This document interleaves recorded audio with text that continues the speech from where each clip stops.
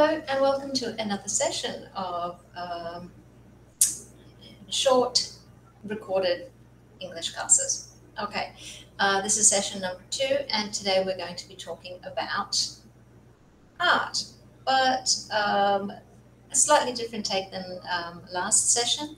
This time we're going to be talking about uh, European art, and um, we're going to have a, a slightly uh, similar setup. Um, I have a short uh, video that we'll have a quick look at where a actually uh, a, a, UK professor um, is going to talk about some different works of art um, and how they relate to the seasons. So we don't have time to look at all four seasons, but we're going to start with uh, summer and then see if we get time to go on to another one. Um, so we'll watch what she says to have uh, what she has to say about them first, and then we'll go through um, the transcript of uh, what she says, and we'll go through some of the uh, the terms and have a talk about those. Okay, hopefully you'll find this interesting. Okay, I'm just going to share my screen now, and then we'll get underway. Okay, hopefully everyone will be able to see the screen coming up in just a sec. Right, now I have a document here. Okay, great. Oh, we're starting with uh, autumn is the second one, but we're going to start with summer. Okay, now this comes from, um, I don't put the web link up here, again from the Open um, University, uh, which I've fallen in love with recently for all kinds of interesting information that we can find up there. Um, so this is more of a, um, the topic is more about the history of art and art and the seasons, which I just thought was so interesting. So the first film um, is going to be looking at how artists evoke or um, kind of bring to mind uh, the kind of the feeling or the picture um, or the memory of the heat of summer. And uh, Emma Barker, who is the lecturer in art history, she is going to talk uh, um, painters such as Bruegel, Monet, and Seurat. Okay, so it's really interesting. Let's have a look. We'll go to the YouTube um, um, thing now where it's going to go for about three minutes, then we'll come back and have a discussion. Okay.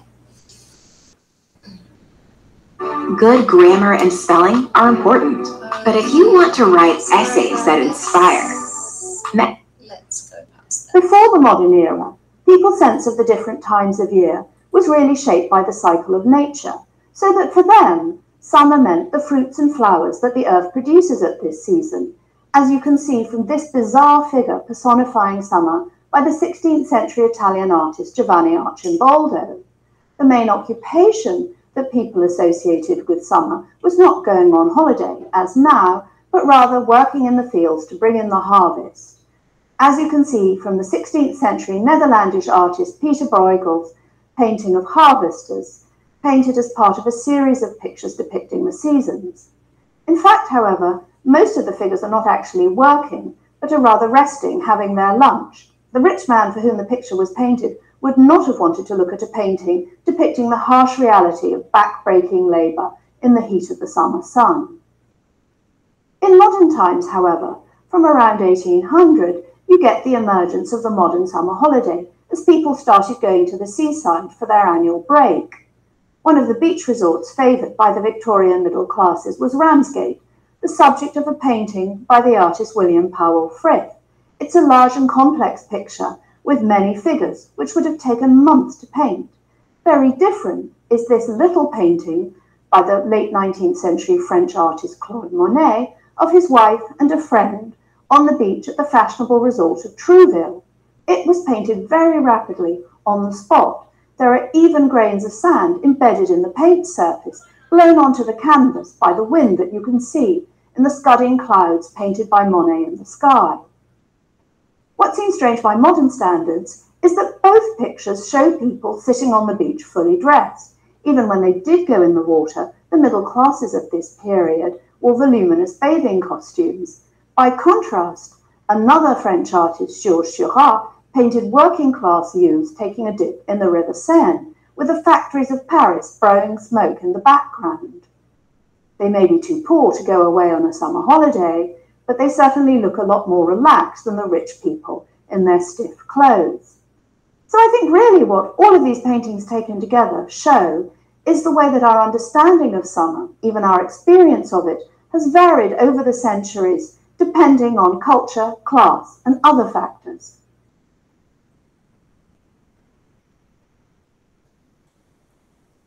Okay, so let us come back. Okay, so yes, that was very interesting. She's quite quick though, so we might just have a look at the transcript now um, in a little bit more detail. Okay, so um, now, okay, she. So we're talking about um, depictions of someone. When we're talking about de depicting, we're really just talking about describing something, drawing a picture of. Um, so we're talking about how people have, or how different artists have described or drawn pictures about summer over the centuries. Okay, so um, she started off with the um, bizarre figure personifying summer by uh, the Italian artist Giovanni Arcimboldo. I'm not sure about my pronunciation there. Okay, so as we can see in the picture, uh, the figure was made up from um, various fruits and vegetables. So we can say that that person or that figure was really taking on um, or being a, um, a, concrete symbol of, of, of summer or being like um, the uh, a person who represented um, summer. Okay, she then moved on to the Netherlandish artist. Um, so obviously someone from the Netherlands, we can uh, describe as Netherlandish. Um, Peter Bruegel's painting, and his painting was of harvesters. So harvesters would be the person, the people that would work to bring in the harvest. The harvest could be corn, could be wheat, um, no matter the crop. We talk about harvest, harvesting. So the harvesters are the um, people who worked to bring in the harvest. Okay. Now, moving along, um, she then moves on to people going to the seaside, people going to the beach in summer. Okay, and the first uh, painting that she showed there was the one by um, William Powell Frith, um, and that was the Victorian middle classes going to Ramsgate, the popular bathing resort. Um, so when we talk about the Victorian middle classes, we are obviously referring to uh, the historical period where Queen Victoria was um, the ruler of the um, of the United Kingdom, um, and that period of time was named after her, hence Victorian.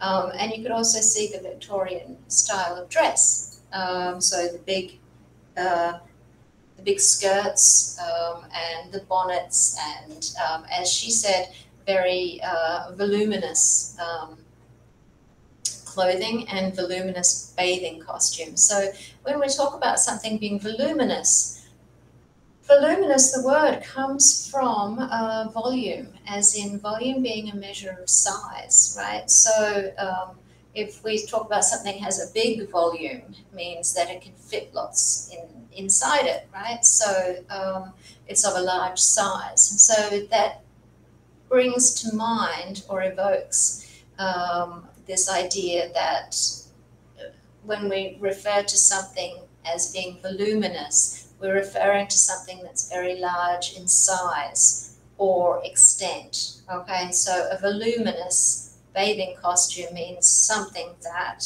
is um, it's going to have a lot of material. It's going to have a lot of, um, it doesn't mean that it's too big for you. It just means that it is, um, has a lot of fabric and is very uh, kind of a complex um, piece of clothing, okay, with lots of extra um, maybe ruffles and pleats and um, a big skirt. It might be a tall hat. Um, things like this would all help to make pieces of clothing voluminous. Okay. so when you're talking about a uh, another way of, of using volume is like, for example, if you're talking about a book, you might say, uh, you might call it a volume. Okay, so if we do this because we're talking about um, it helps to evoke a sense that a book can be part of something larger, right? So, um, for example, if you have a series of books, you might have volume one, volume two, volume three. Okay, so those books in total, um, a number of volumes comprise um, the, the total of a, a series of books. Okay, so it's kind of making me think about um, volume as in um, size or extent. Here it's talking more about extent because it is not just one standalone book, there are many volumes in the series. Okay. All right, so now um, to go back um, to the previous paragraph where um, she was talking about the tiny painting by uh, Monet. And the painting was of his wife and a friend on the beach at the fashionable resort of Trouville. Okay, and she says this instead was very rapidly painted on the spot. So on the spot means um, he just painted it um, very quickly at that point in time. Um, and he painted it on the beach. So his wife and a friend were sitting there on the beach. He decided at that moment and at that place to do a quick painting of them. So that's why there are grains of sand embedded or stuck onto the paint surface, blown onto the canvas by the wind, evident in the picture itself in the scudding clouds in the sky. So what this means is that we, how do we know that it's windy? Because we can see that the uh, in the picture, we can see the clouds um, going quickly um, across the sky. So that um, scudding means to uh, move along quickly. Okay, so that is the evidence. The clouds are the evidence that it is a windy day. Okay. So when we talk about scudding, um, there are a few different ways in which we can um, we can talk we can use the word scudding um, or to scud uh, being the verb. Okay, generally we use it um, in terms of um, weather weather related things. So for example, um, we might say something like. The moon was bright, but clouds scudding across it kept throwing them into darkness. Uh, that's actually a sentence from um, Harry Potter and the Sorcerer's Stone. Okay, so the, what this means is the clouds were moving quickly along. Um, for example, being blown by a wind. Okay.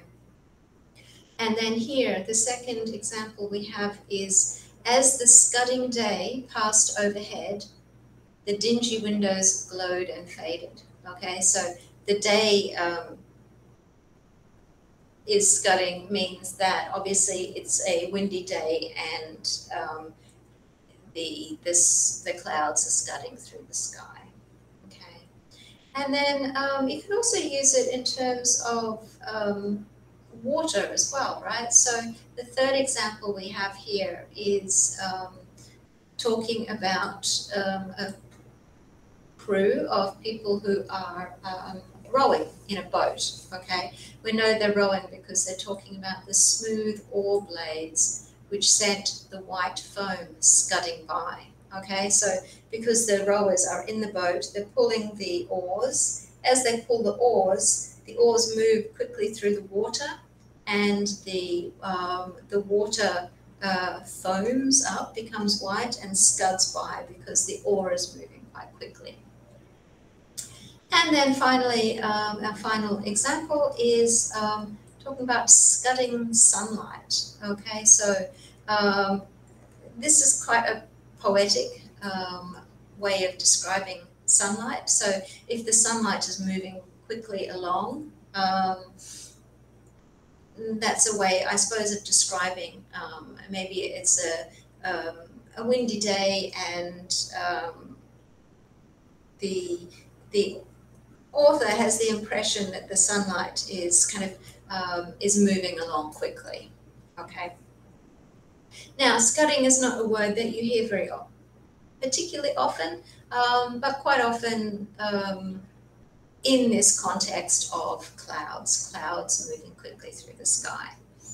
Okay, all right, so now to go back down to voluminous, she did mention that um, the people on the beach were um, in the first two uh, pictures in, um, that she talked about where people are on the beach, uh, is that they're wearing a lot of clothes. So they're wearing voluminous clothing or bathing costumes. Okay, so bathing costumes is an interesting term because um, when we go to the beach, obviously we wear um, we wear bathing costumes, but we think of that these days is in um, we have different ways to say it. Okay, we can say um, a swimming costume, we can say a swimming suit, a swimsuit, we can say bathers, uh, we can say um, in Australia we say uh, cosy,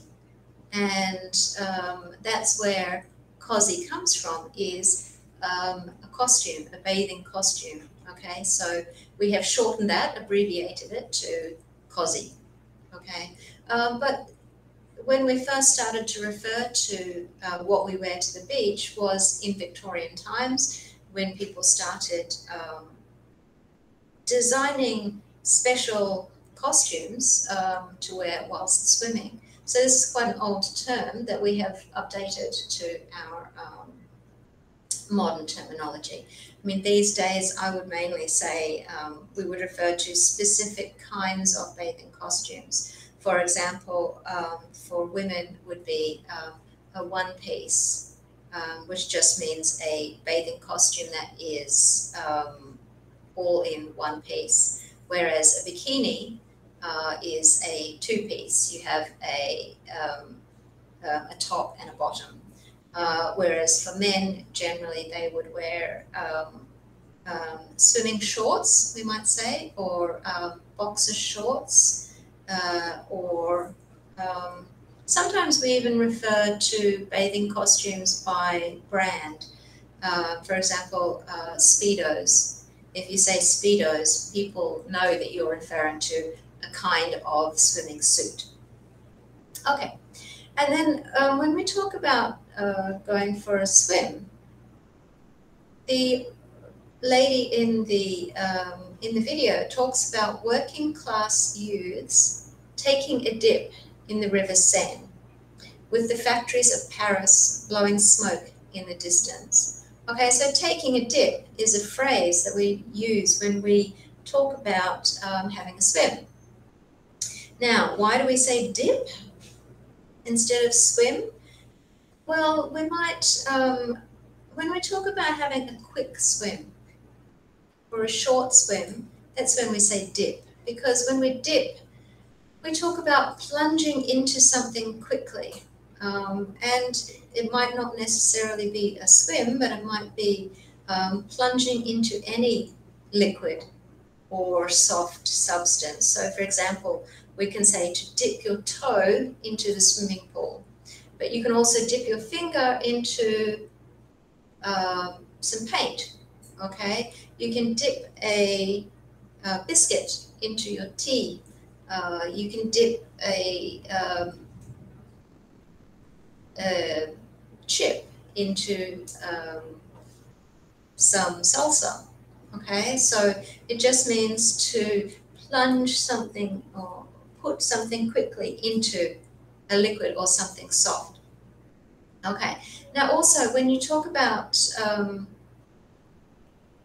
um, dipping into something, as I, as I mentioned, you can um, dip your toe into something. Now, this can literally be taken to mean um, you put your toe quickly into the water, but we also use it these days to talk about um, to try something out.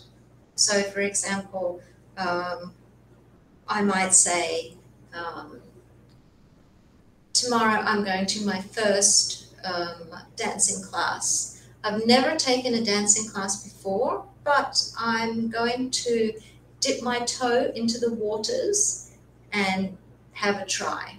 Okay, so when we talk about dip your toe into the water, we can just be talking about trying something for the first time, having a go at something, okay, that you've never done before, okay. Um, um, another example might be um, after COVID, um, then for people that haven't traveled for a long time, um, and maybe you're feeling a little bit unsure about getting back into travel. So I might say, well, for me, um, usually I do independent travel, but uh, I'm a bit worried about travel after after COVID ends. So I'm going to um, dip my toe into the water and try uh, a tour group uh, because I feel this may be a, a, safer way to travel. Okay, I haven't toured with a tour group before, but I'm going to dip my toe in the water and try to travel with a tour group as, as a different way of doing things. Okay. All right, so that is talking about um, dipping. Um, yeah, so dip can be a quick swim as well as a delicious sauce. So when we talk about um, dipping a chip, we can dip a chip into a dip. Dip meaning the sauce, okay? So um, that is, there are a lot of different ways to use dip, a dip. Okay, now let's have a quick look. We have 10 minutes left, so we're going to have a very quick look at um, autumn. So here's a, a, quick video. We'll just watch a little bit of it, um, talking about autumn and the different ways in which artists have looked at autumn. So let's quickly move to this.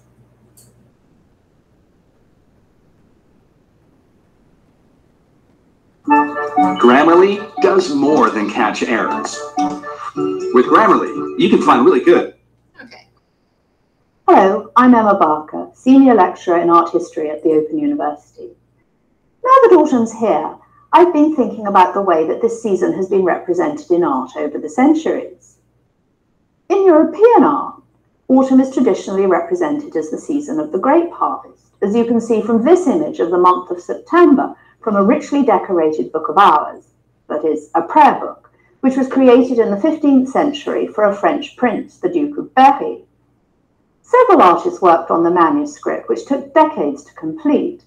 The image of September shows peasants working in the fields below the lofty towers of the royal chateau of Saumur, making clear the gulf between the great and the humble during this period. In the Renaissance, with the revival of interest in antiquity, autumn was increasingly personified in the figure of Bacchus, the Roman god of wine, feasting, and fertility, whom you see here in a late 16th century painting by the Italian artist Caravaggio. The god appears here as a dreamy looking youth with grapes and vine leaves in his hair, fingering the sash of his robe. The table in front of him holds a carafe of wine and a bowl of fruit, and he holds out a glass as if inviting us to join him. The viewer is encouraged to share in nature's bounty and indulge in sensual pleasure. Increasingly, European artists Okay, so we won't have time to watch more of that at the moment, but I will um, leave a, a link uh, there for you to finish watching that um, after the class is finished. Uh, just a couple of things to highlight in the remaining time. Uh, and I encourage you to go through and read the uh, transcript um, again. Um, after I've been through it, just so you can really um, appreciate um, all of the, the points that she's making because it's very interesting, but she gives a lot of very dense information. Okay, so now just to highlight a couple of things that she's talking about. Um, she's talking about how in European art, autumn is traditionally represented as the season of the grape harvest. Okay, so again, we have this word harvest and the people in the picture um, who are the harvesters working to um, to bring in the the grapes. Okay, so she um, gives you this image of which comes from the richly decorated Book of Hours, which is a volume of prayers created for a French prince, the Duc de Berry, in the 15th century. Okay, so remember when we talked in the previous uh, on the previous page about volume. So volume being um, yeah a, a, way to describe books that have more than one um, um, more than one in a series. Okay, so why does she talk about as being um, richly decorated? Well, let's have a look. When we talk about something being richly decorated, it means that something is, um, it has a high level of decoration. Um, and that might be in terms of the materials that they've used, like the paint um, has um, very beautiful colors. There is a lot of decoration on the page as well. So that image was very, um, very full, real, very um, kind of uh, richly detailed and um, lots of colors, that kind of thing. So it was really, there was a lot to look at. So that's why we say richly decorated um, as kind of an abundance of decoration. Okay, now then she also talks about this being um, the image being a manuscript.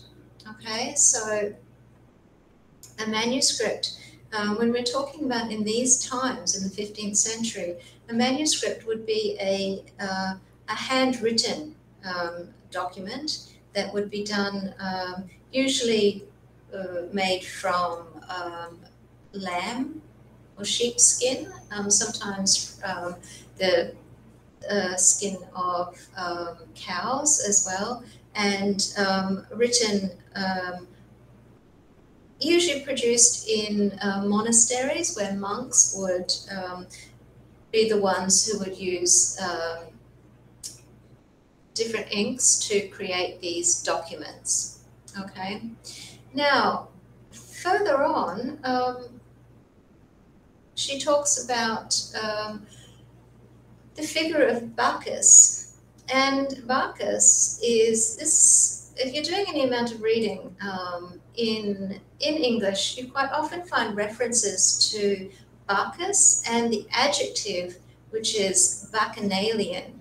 And because Bacchus was the Roman god of wine, if we see the adjective bacchanalian, that means um, when we're referring to either people drinking a lot of wine, or maybe a party where a lot of wine was served.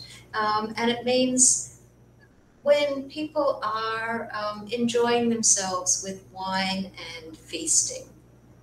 Okay, so um, this the painting that she's talking about uh, was done in the late 16th century by the Italian painter Caravaggio. So um, she, he did this painting of the god Bacchus as a dreamy looking youth. Okay. And um, he is kind of inviting us to join him as he drinks a glass of wine, has um, some um, some fruit, and he holds out his glass as if inviting us to join him. Okay, so this is really a um, a way of um, inviting the viewer to enjoy nature's bounty, nature's bounty being the fruits and vegetables and also the wine. Okay. Um, now, I will um, provide links to um, this information that I have here, and there are um, another couple of paintings that she goes through, um, which I encourage you to um, to have a look at. I have highlighted some further um, vocab terms here. And I'd also to encourage you to think about um, maybe um, having discussions about like what you like in art, what um, what would your favorite art piece of art be, and how would you describe that to another person? Try and um, think about using some of the words that um, we've heard um, in this session and um, how you could use those in your own um, language and think about um, describing not only what you see on the on the canvas um, in the painting, but also the significance of that and how you would try to describe that or communicate that to somebody. Okay, so that is um, our 30 minute um, session. I'm going to stop sharing the screen and come back to you. Okay, so um, I hope you've enjoyed um, that quick look through uh, a couple of the seasons. Um, and we may have another look at the rest of the seasons um, in the following session. Okay, thank you very much, and I will see you soon. Thank you.